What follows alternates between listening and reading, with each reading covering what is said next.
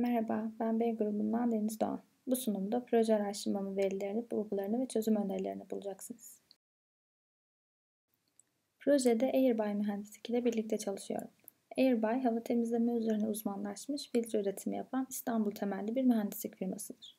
Projede modern kent insanının ihtiyaçlarına yönelik ev içi hava kalitesinin takibini ve optimizasyonunu sağlayan, mobilize edilebilen, kullanıcıya kişiselleştirilebilir kullanım sunan bir cihaz tasarımı hedefliyoruz. Kentlerde iç mekanların hava kalitesi her geçen gün daha da ciddi bir problem haline gelmektedir. Öyle ki iç mekanların havası dış mekanlara oranla 10 kat daha kirli olabilmekte. Bireyler zamanlarının %90'ını iç mekanlarda geçirmekte ve hava kirleticilerine aşırı maruz kalma nedeniyle sağlık sorunları artmakta. Ayrıca bireyler iç mekanlarda yarattıkları ve soğudukları kirleticiler hakkında bilinçsiz davranmaktadır. Ev içinde banyo, yatak odası, mutfak ve oturma odası alanlarının her biri için farklı kirleticilerden söz edebiliriz. Bu kirleticilerin zarar verme düzeyleri ile ortamdan temizlenme yöntemleri de farklılaşmaktadır. Hava temizleme sistemleri yapı elemanlarına göre iki grupta incelenebilir. Aktif ve pasif filtrasyonlar. Aktif filtrasyonu UV filtreler, iyonizerler örnek verilebilirken pasif filtrasyon, HEPA filtre, aktif karbon temelli filtreler ile fan destekli sistemlerdir. Karşılaştırmalar incelendiğinde pasif filtrasyon sistemlerinin yüksek ve stabil performans sunduğu için iç mekan hava temizliğinde kullanılmaya daha uygun olduğu görülmektedir. Pasif filtrasyon sistemlerinde kullanılan filtrelerin belirli ömürleri vardır ve değiştirilmeleri gereklidir. Bu noktada atık oluşumunun azaltılması, sürdürülebilirliği sağlanması ve üretim maliyetini azaltmak adına başka sektörlerin atıkları olan Hindistan cevizi kabukları ile bambu gövdelerinden aktif karbon filtre üretimi gerçekleştirilebilmektedir.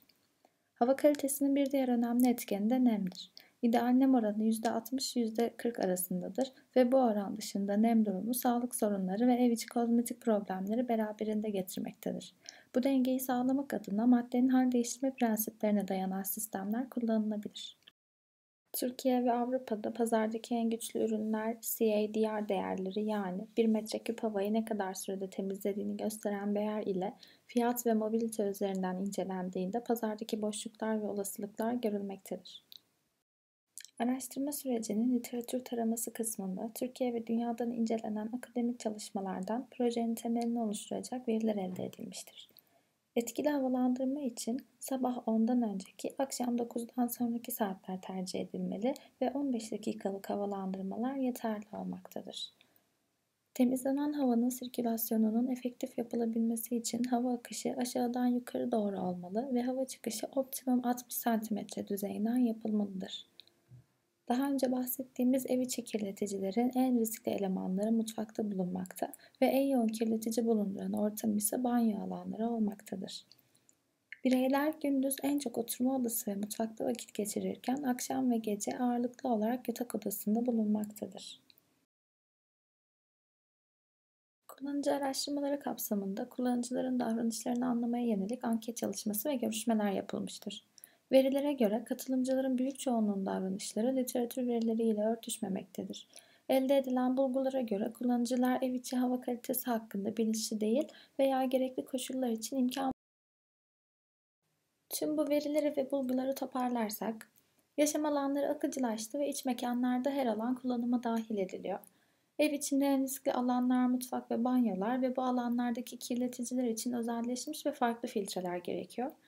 Bu filtrelerin en idealleri pasif filtrasyon grubunda yer alıyor ve bu sistemlerin belirli konumlandırma şartları var. Hava kalitesi için hava temizliğinin yanı sıra nem dengesi de bir o kadar önemli konumda. Peki bu veri ve bulgular ışığında ve brief doğrultusunda neler yapılabilir? Hava kalitesinin üç temel aksiyonu olan eliminasyon, havalandırma ve filtrasyon adımlarının her birini uygulayan ve kullanıcının farkında olmasını sağlayan bir sistem.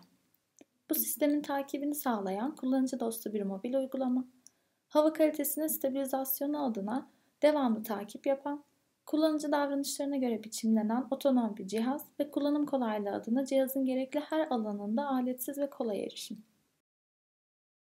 İlk eskizler için temizlenen havanın dağıtımını ve sirkülasyonun efektif bir şekilde sağlanması problemini çözen farklı kullanım alanlarına özelleşmiş hava temizliği sağlayabilen ve nemi dengeleyebilen bir arada veya ayrı kullanılabilen ünitelerden oluşan bir ürün konsepti oluşturuldu. Ardından her bir ünite için filtrasyon yöntemleri belirlendi ve uygulama testleri yapıldı. Kullanım kolaylığı adına şarjlı olmasına karar verilen üniteler için şarj çözümleri üzerine çalışıldı. Kullanıcının yaşam alanının her noktasında kullanabileceği modüler bir ürün hedefleniyordu. Burada yoğun vakit geçirilen alanlar için etkili temizlik yapabilen ana birimi görüyorsunuz. Bu birimde HEPA, aktif karbon ve ön filtre sistemleri bulunmakta. Burada ihtiyaç duyulan her alanda kullanılabilecek hazneli ve rahat taşınabilir nemlendirme birimini, burada banyo, çamaşır odası gibi yüksek nem içeren alanlar için hazneli, kolay taşınabilir nem alma birimini, ve son olarak burada da mutfak gibi yoğun duman, koku ve uçucu organik bileşik bulunduran alanlar için özelleşmiş aktif karbon filtreli temizleme birimini görüyorsunuz. Çalışmalarımın geldiği aşama bu şekilde. Beni dinlediğiniz için teşekkür ederim.